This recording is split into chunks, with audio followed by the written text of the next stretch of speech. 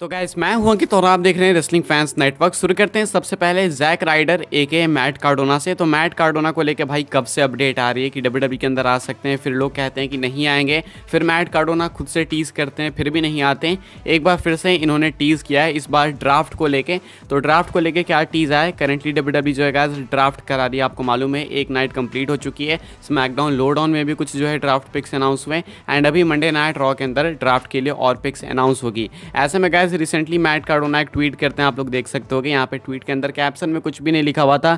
Simply एक graphic post करी है, उनके पहले वाले ड्राफ्ट से थ्रोबैक ड्राफ्ट जो था। एंड यहाँ पे जब वो स्मैकडाउन के अंदर ड्राफ्ट किए गए थे, वो वाली ग्राफिक है यहाँ पे। एंड कोई भी कैप्शन वगैरह इन्होंने नहीं लिखा है। तो बेसिकली ये टीज़ कर रहे हैं हिंट कर रहे हैं कि ड्राफ्ट के अंदर ये भी ड्राफ्ट होंगे।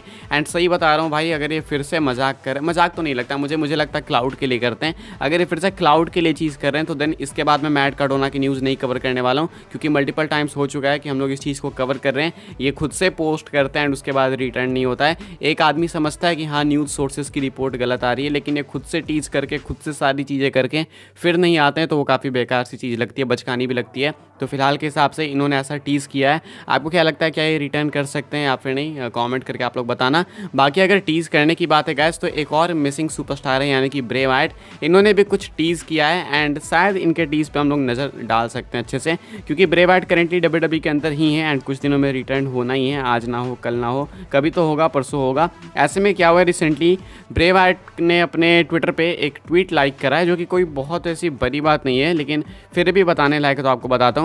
डब्ल्यू डब्ल्यू ने एक ट्वीट करा था जो कि है न्यू वर्ल्ड हैवीवेट चैंपियनशिप को लेकर, जहाँ पे अनाउंसमेंट थी कि हम लोग नए वर्ल्ड हैवीवेट चैंपियन को क्राउन करेंगे नाइट ऑफ़ चैंपियंस के अंदर। अब इस वाले ट्वीट को ब्रे वाइट ने लाइक करा, इस चीज़ को नोटिस इसलिए करना है क्योंकि ब्रे वाइट बहुत रेयर ट्वीट्स को लाइक करते हैं। पास्ट में हमने देखा है कि ब्रे वाइट उन ट्वीट्स को लाइक करते हैं जिससे कि वो रिलेटेड होते हैं। तो क्या ब्रे वाइट भी इस टाइटल के लिए एम कर रहे हैं? ज़रूरी नहीं है कि Bray Wyatt Night of Champions में आके टाइटल जीतें एंड इनका टाइटल जीतना बहुत मुश्किल है, बहुत दूर है। अभी अभी पहले कैरेक्टर को प्रॉपर बिल्ड करना पड़ेगा, उसके बाद भी जीतेंगे, नहीं जीतेंगे, वो नहीं पता। लेकिन ब्रेव आर्ट ने इस चीज़ को लाइक करके ऐसा दिखा दिया है कि सारी चीज़ें डब्ल्यू डब्ल्यू के साथ उनकी सही है एंड मे बी वो एम भी कर रहे हैं इस टाइटल के ऊपर। क्या आप लोग ब्रेव आर्ट को वापस से डब्ल्यू टाइटल पिक्चर या फिर कह सकते हो वर्ल्ड हैवी टाइटल पिक्चर के अंदर देखना चाहोगे?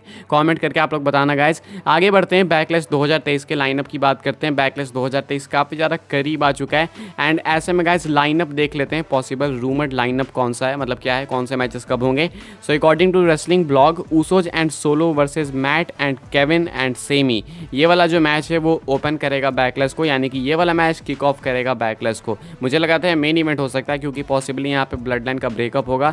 लेकिन यहाँ पे रिपोर्ट का कहना है कि ये वाला मैच बैकलेस को ओपन करेगा। इसके बाद रिया रिप्ली वर्सेज जलीना वेगा जो है, वो सेकेंड मैच होगा इसके बाद का। यानी कि जो स्मैकडो में चैंपियनशिप का मैच है, वो सेकेंड मैच होगा। Bad Bunny versus Damian Priest ये वाला जो मैच है, वो कार्ड के बीच में हो सकता है। एंड देन मेन इवेंट होगा कोडी वर्सेज ब्रॉक और भी मैचेस है तो वो बीच बीच में आपको देखने को मिल जाएँगे लाइक रॉलिंग्स वर्सेज ओमास हो गया बियांका ब्लेयर का मैच हो गया। तो ये मैचेस आपको कार्ड के बीच में देखने को मिल जाएँगे। फ़िलहाल के हिसाब से बताया जा रहा है कि मेन इवेंट कोडी ब्रॉक है एंड ऊसोज वाला मैच ब्लड लाइन वाला, वो किक ऑफ़ करेगा बैकलेस को। रिपोर्ट चेंज होगी तो मैं आपको बताऊँगा फिर। आगे बढ़ते हैं गैस बात करते हैं अगली स्टोरी के बारे में, जो कि सेथ रॉलिंस को लेके।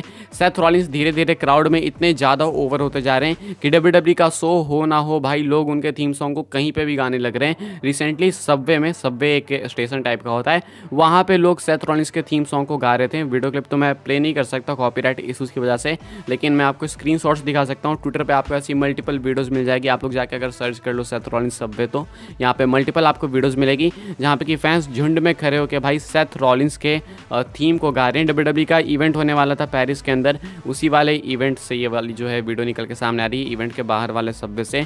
तो खतरनाक सीन हो गया भाई सेथ रॉलिंस के लिए। एंड वर्ल्ड हेवीवेट चैंपियनशिप के लिए बेस्ट कंटेंटर है करेंटली सेथ रॉलिंस आगे बढ़ते हैं सेथ की बात की है वर्ल्ड हेवीवेट चैंपियनशिप की बात की है तो मे बी आपको Seth versus heel Drew McIntyre देखने को मिल सकता है वर्ल्ड हैवीवेट चैंपियनशिप के लिए। जी हाँ गैस इसके चांसेस हैं एंड क्या रिपोर्ट है वो मैं आपको बता दूँ।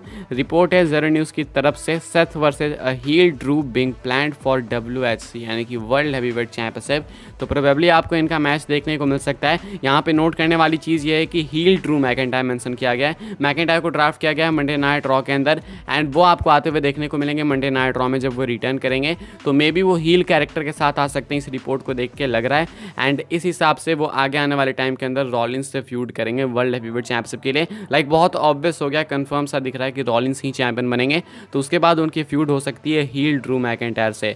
आखिरी स्टोरी कवर कर लेते हैं, जो कि रोमन रेंज को लेके। रोमन रेंज काफ़ी टाइम से मिसिंग है। काफ़ी टाइम से मिसिंग मतलब रेसल के बाद रेगुलर कहाँ ये रोमन वैसे भी रोमन कौन सा ही रेगुलर रहते थे, लेकिन फिर भी गैस अभी एक रिटर्न को लेकर अपडेट है। तो रोमन रेंज अभी कुछ टाइम तक मिसिंग ही रहेंगे। नाइट ऑफ़ चैंपियंस से कुछ टाइम पहले वो वापस आएँगे एंड उसके बाद नाइट ऑफ़ चैंपियंस में पार्टिसिपेट करेंगे। तो बस रोमन को लेकर यही अपडेट है एंड आई होप्स आपको वीडियो से इन्फॉर्मेशन मिली हो। मिली हो तो आप लोग लाइक कर सकते हैं शेयर कर सकते हैं सब्सक्राइब कर सकते हैं चैनल को। फॉलो कर सकते हैं मुझे इंस्टाग्राम एंड ट्विटर पर दोनों के लिंक आपको मिलेगी नीचे डिस्क्रिप्शन में। मिलते हैं अपने नेक्स्ट ऑफेयर काफ़ी इंटरेस्टिंग वीडियो में।